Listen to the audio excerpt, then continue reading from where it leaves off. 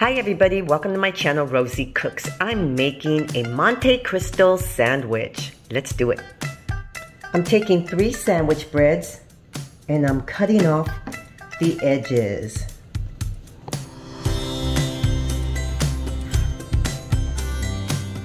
Like this. Now I'm gonna add some mayonnaise to all three of my breads.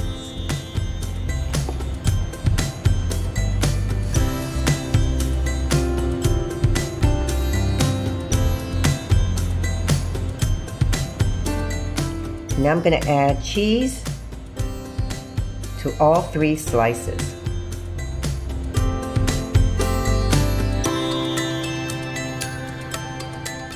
Here's cheese on all three slices. Now I'm going to add a piece of ham on two slices.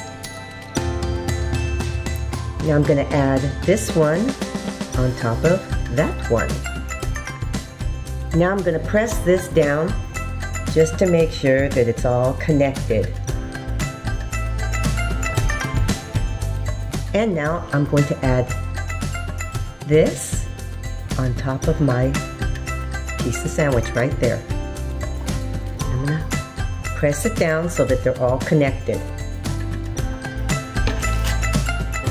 Now I pressed my sandwich down and it is squished two eggs.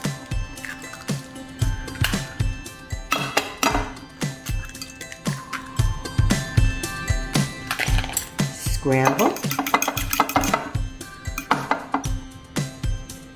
So to my eggs, I'm adding some milk, just a pinch of salt, and a pinch of black pepper.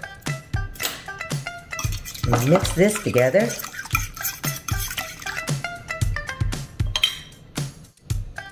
Right here, I have a hot skillet and I'm adding one tablespoon of butter.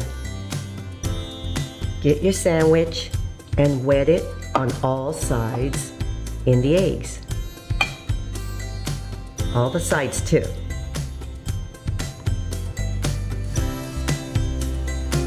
Now we cook our sandwich.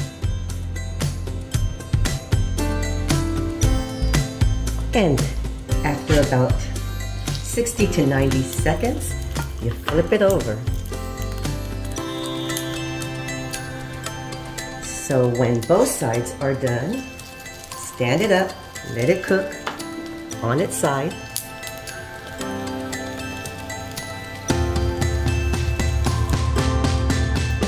And that, my friends, is a Monte Cristo sandwich.